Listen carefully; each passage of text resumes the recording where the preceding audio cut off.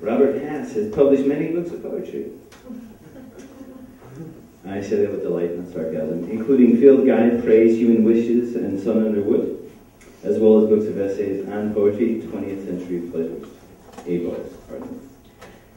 Uh, has translated many of the works of Nobel Prize-winning Polish poet Czesław Miłosz, and he edited selected poems of Tomas Tranströmer, The Essential Haiku, Poet's Choice, Poems for Everyday Life. Many of these books very important to me. Uh, he was the guest editor of the 2001 edition of Best American Poetry. His essay collection, Now and Then, which includes his Washington Post articles, was published in April 2007.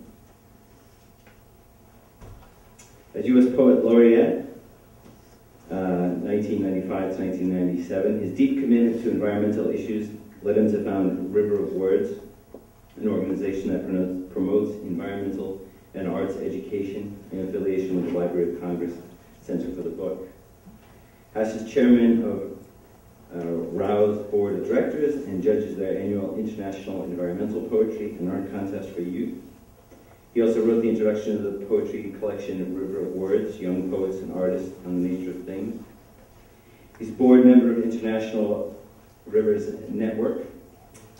Chosen as Educator of the Year by the North American Association of Environmental Education, and in 2005 elected to the American Academy of Arts and Sciences. His collection of poems entitled Time and Materials won the National Book Award and the Pulitzer Prize and the Northern California Independent Booksellers Association Award. He wrote the introduction to a new edition of Whitman's Selected Poems. His most recent volume, entitled The Apple Trees at Olema, New and Selected Poems, was published by Ecco spring of this year. He's currently at, uh, at work on a collection of selected essays honor, my privilege, my pleasure to introduce Robert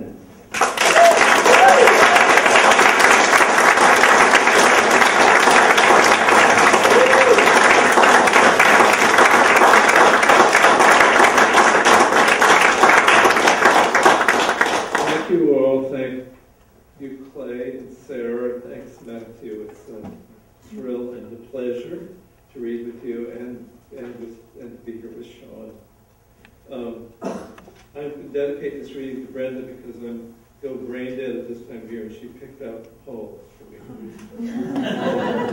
but I'll read one that's before she picked out because I've been thinking about it. I keep thinking about the way um, where apparently the people who who uh, perpetrated most of the violence the last uh, 10 years are not going to be brought to justice for it. Um, and my, my mind turns to it in different ways, and an Irish poet called and asked me if I would contribute to a book of um, new translations of the body of Anglo-Saxon poetry.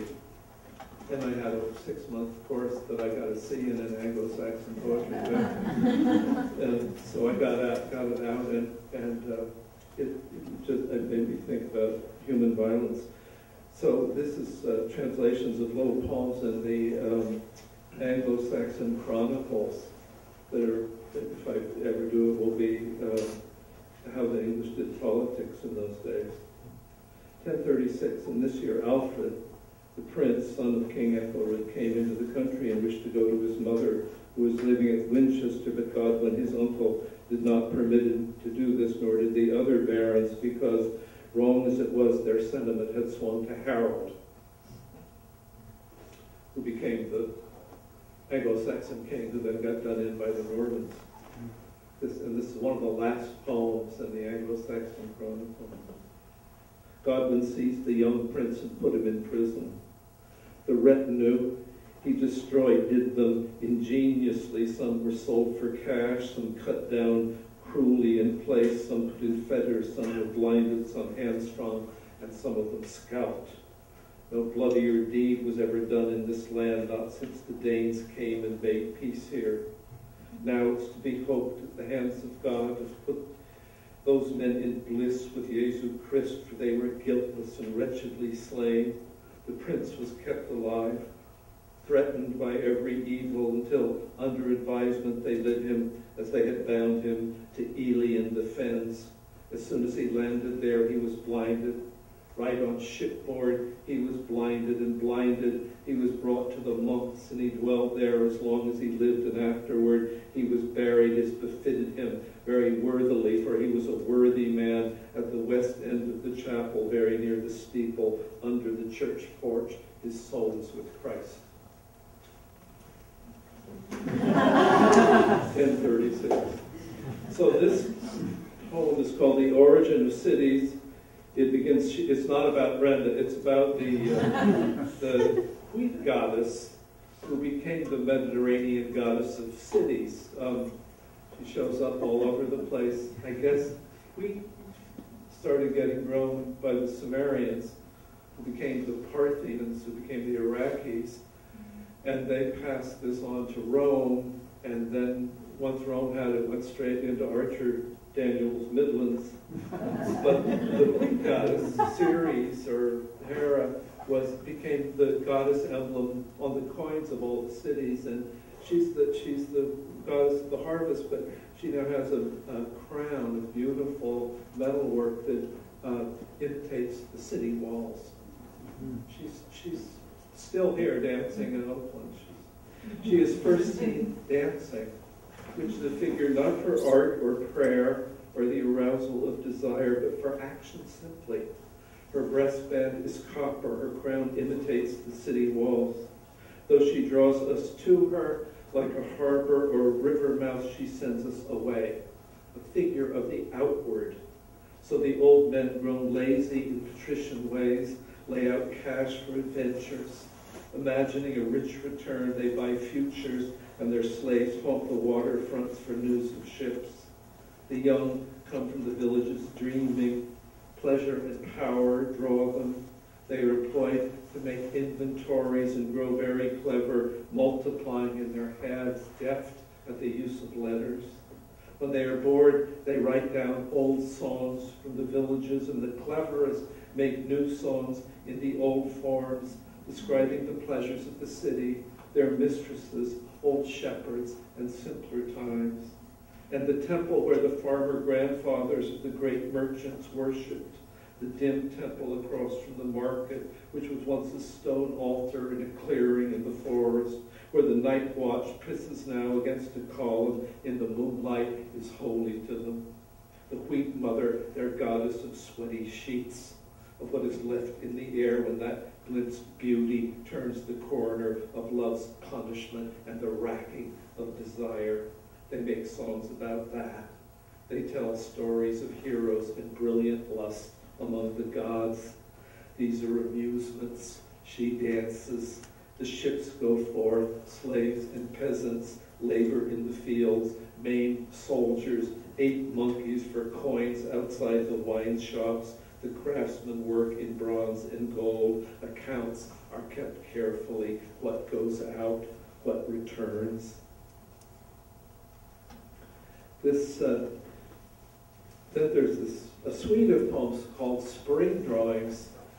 Um, I had in mind, spring drawing is a translation of the term shunga, which is the word term used for Japanese pornographic woodcuts. They're in, in most of the there are kind of these immense genitals right in the center of the drawing, surrounded by very delicate swirls of, of silk, you know, with night skies and plum blossoms. In the middle, it looks like uh, looks like a blind bull is being eaten by a very sleepy turtle.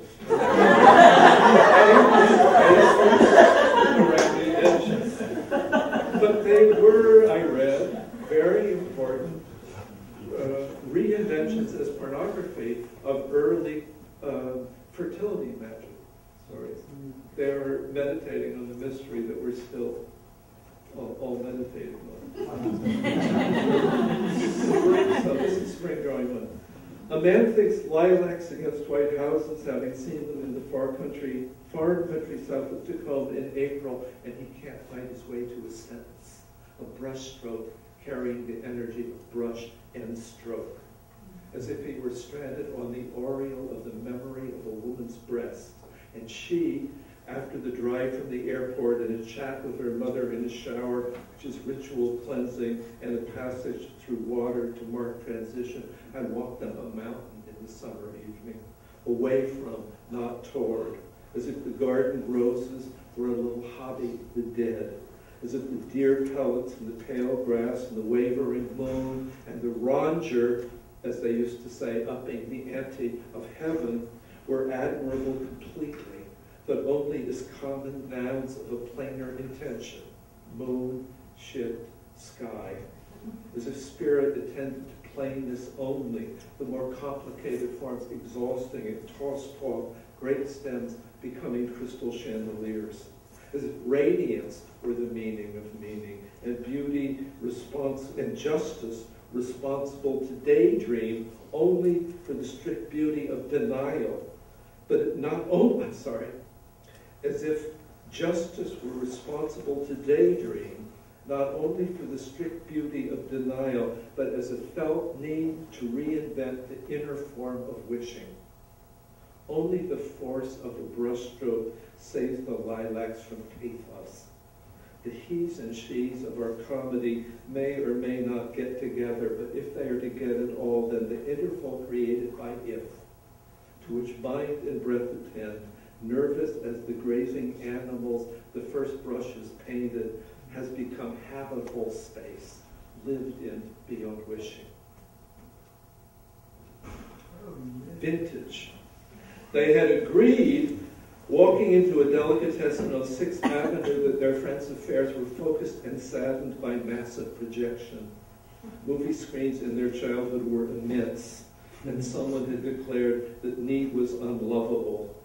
The delicatessen had a chicken salad with chunks of cooked chicken in a creamy basil mayonnaise a shade lighter than the Coast Range in August.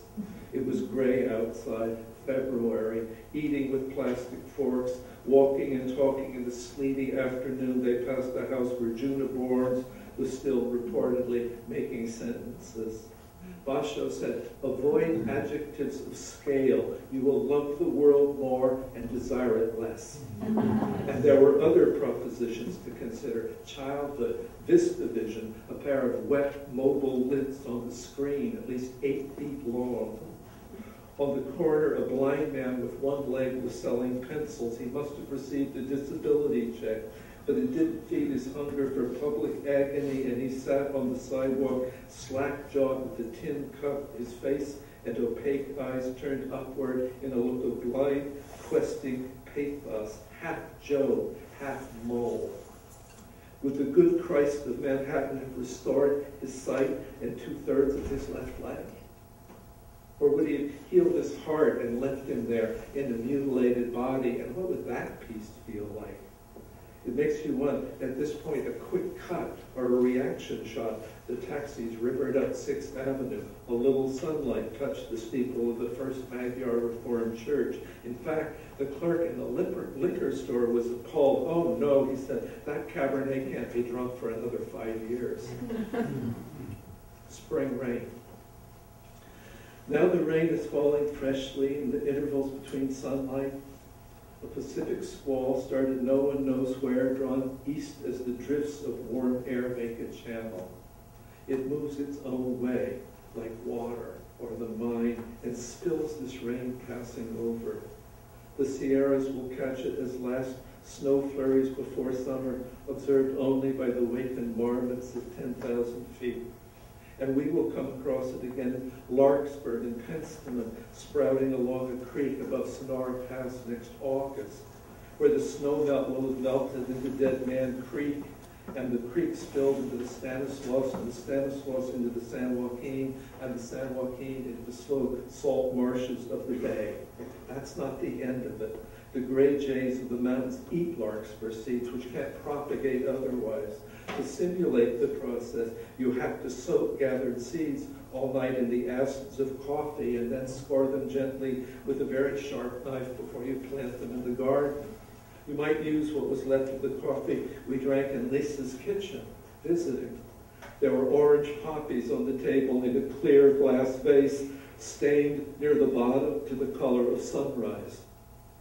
The unstated theme was the blessedness of gathering. and the blessing of dispersal. It made you glad for beauty like that, casual and intense